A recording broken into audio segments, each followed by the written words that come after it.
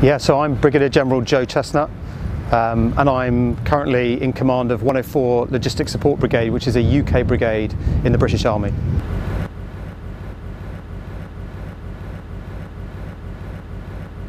So Defender 21 is an army-led um, uh, exercise which is to test the interoperability and the readiness of US forces, allied forces and partnered nations. It's currently running for the next three or four months and it's going to draw about 28,000 multinational military forces drawn from about 28 countries and its responsibility is to exercise across the entire of the Balkan regions across to the Baltics and into the most strategically important areas of the, um, of the southern European basin including the Black Sea region. Over the course of the exercise period exercising troops will stage through and exercise in over 30 different training areas in 12 different countries.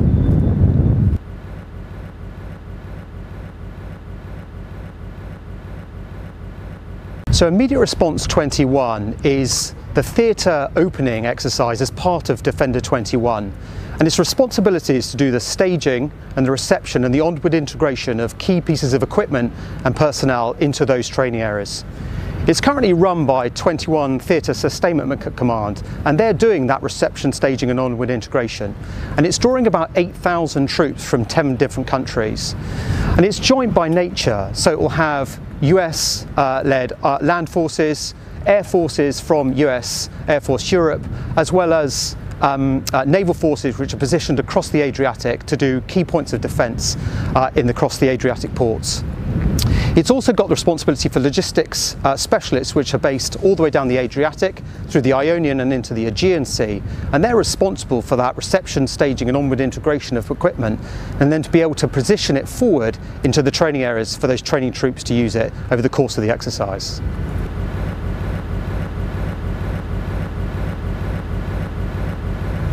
So the UK uh, exercised in Defender 20 and it's now building on that relationship with the US on Defender 21.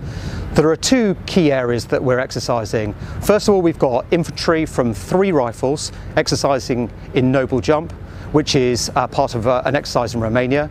We've got a company group from two para and they're exercising on swift response and they'll do a parachute drop in the next week or so. And then we've got 100 members of the ARRC and they're exercising in Defender CPX, a planning exercise spread between Germany and Romania, specifically for 104 Logistics Support Brigade with a Theatre Sustainment Brigade. And we're able to be able to position ourselves to deliver material through with and in support of other partner nations. I've currently got forces positioned in Albania and we're embedded in 21 Theatre Sustainment Command's tactical headquarters. We've also got troops as part of a, a sustainment brigade positioned in Albania and their responsibility with forces also in Croatia and Slovenia is to do that logistic enabling of all of the equipment and material and to position it into the southern Balkan regions ready for those exercising troops.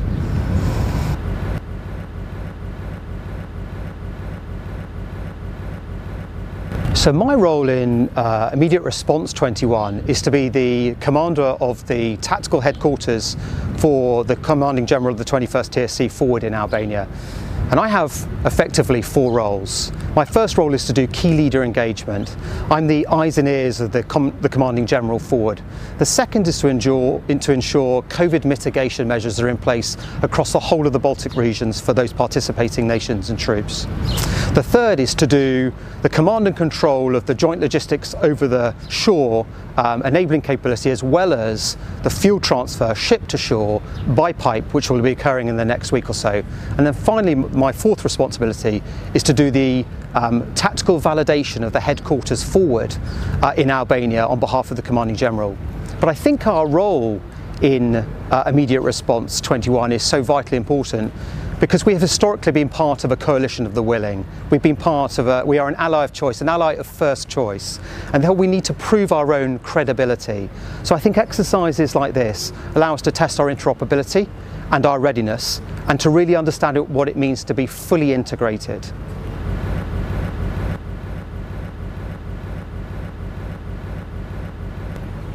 So I think in line with the recent publication of the defence paper in the United Kingdom, the military are ever ready and postured around the world, globally ready to respond to any of the threats that emerge.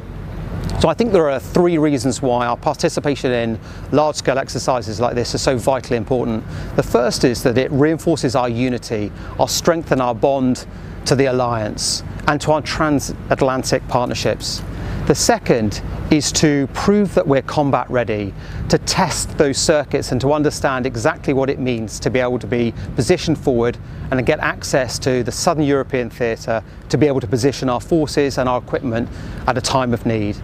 And then the third and probably the most important is that we need to show a willingness to our partners and our allies. We need to understand what it means to be fully integrated, to be ready.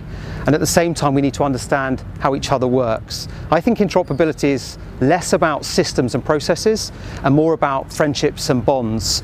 Those bonds which are forged now, but which matter when the time comes. And as General Cavoli would say, we're stronger together.